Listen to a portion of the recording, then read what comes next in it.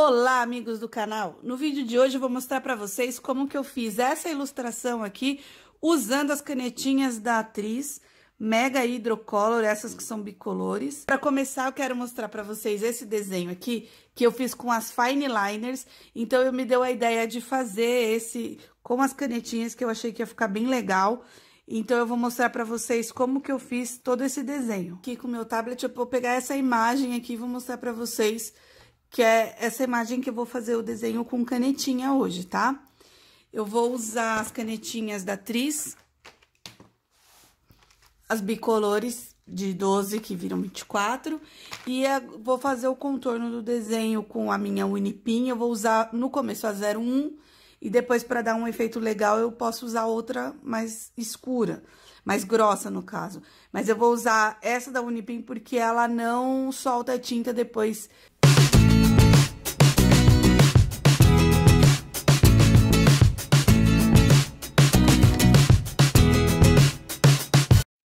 eu vou tirar as canetinhas aqui da caixa.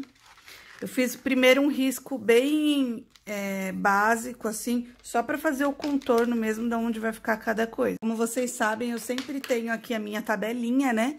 Com as cores que eu vou usar para eu, tá, pra eu poder ver. E eu tenho um caderninho aqui que eu também vou usar pra testar. Tá vendo aqui, esse desenho aqui eu fiz com as fine liners. Então, eu gostei desse desenho, aí eu falei, ah, vou fazer com a canetinha que eu acho que vai ficar bem legal. Então, vamos ver. Ó, eu usando a canetinha da cor nude, eu vou demarcar onde vai ser a parte do... Acredito eu que seja o caramelo, né? A parte do café. Então, aqui eu só tô marcando onde vai ficar essa parte. E aqui, mais pra baixo, a gente vai fazer a mescla daquela parte mais escura. Vocês podem ver que eu uso a canetinha deitada para ela sair mais a, a, tinta dela, né? Canetinha verde oliva, eu vou fazer o símbolo da, da, do café, né? Tirar essa pontinha aqui, ó. E vou tentar fazer essa parte mais próxima possível, usando a parte da pontinha da canetinha.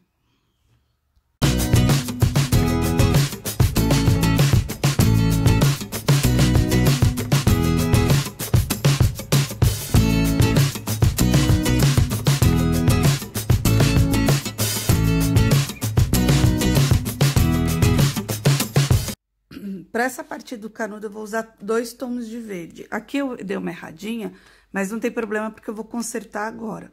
Então, eu vou usar o verde mais escuro nas laterais. E vou usar o verde mais claro, indo pro meio. Pra fazer aquela parte do... Da luz do canudo. E vou usar o verde mais escuro, aquele que eu usei pra fazer o logo para contornar. E aí, eu volto com outra cor só para dar o efeito. Para mesclar uma cor com a outra. Você acabar apagando o brilho, não tem problema, porque depois a gente pode usar a caneta branca. Vou usar esse tom de marrom, que é o marrom telha, para fazer a mescla com esse nude aqui. Então, porque essa parte aqui é a parte do, sei, talvez do chocolate.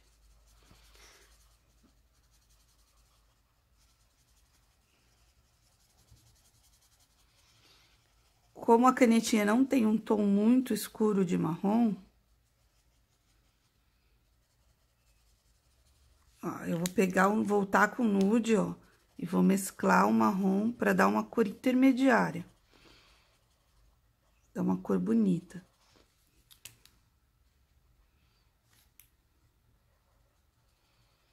E o bacana desse desenho é que quanto mais abstrato ele ficar, mais bonito ele fica. Então, ele não precisa ter uma...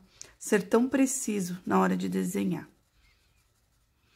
E aí, a gente pode vir com o preto para escurecer um pouco esse chocolate aqui. Então, a gente vem com preto, volta com marrom. para dar esse tom marrom mais escuro, porque a canetinha não tem essa marca. Então, olha só que efeito, que legal que deu. Aqui eu vou dar uma escurecida nas bordinhas também, vou usar esse marrom.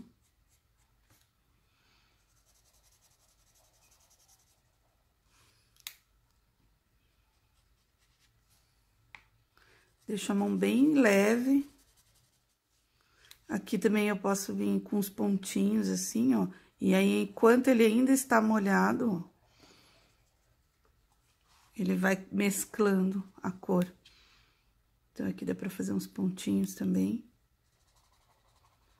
E puxando com a cor mais clara.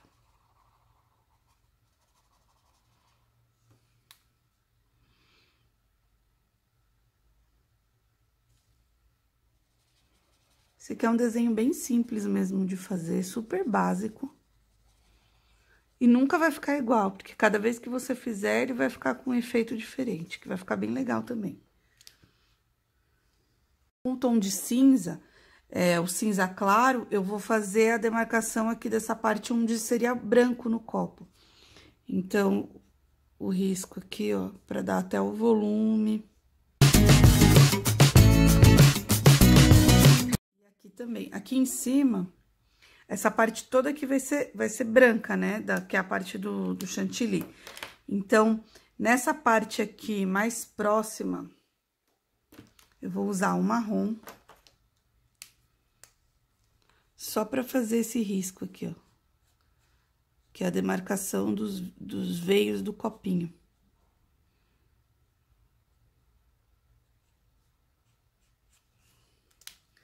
Posso voltar com o nude, né?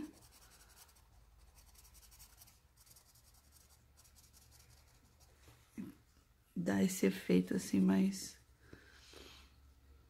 leve.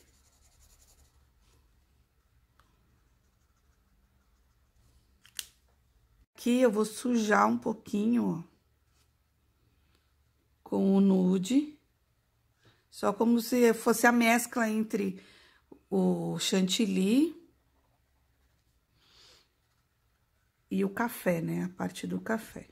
Tomar cuidado com essas partes aqui, porque elas sujam, né? E aí, vou usar um pouco do cinza também. Que não tem problema se você errar um pouco no cinza, porque depois, quando eu vier com a caneta branca, eu consigo consertar uma parte. Então, aqui, ó, essa mescla. O cinza você consegue arrumar.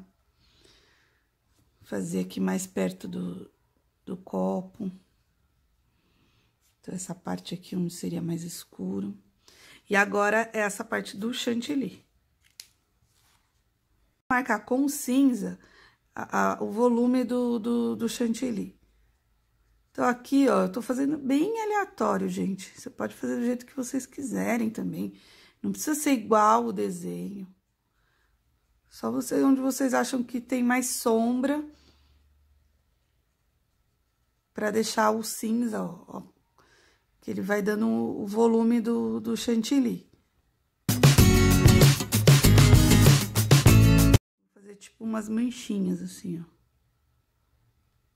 Pode fazer umas bolinhas também.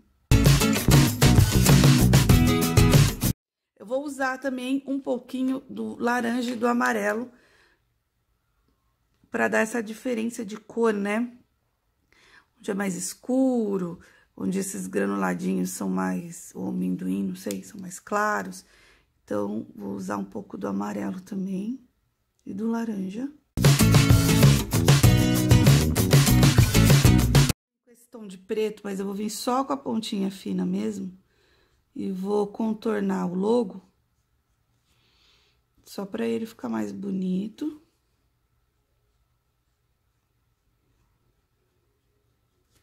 e mais uniforme.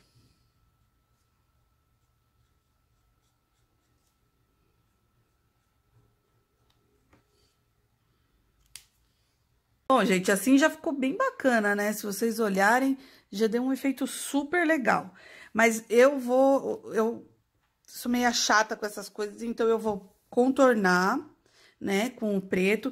E vou usar o branco para dar luz e para dar uns efeitos diferentes. Eu vou usar ou a caneta gel e a posca. Essa posca aqui que eu tenho é a 3M, ela tem uma pontinha mais grossa. Vou usar para dar um efeito mais de luz.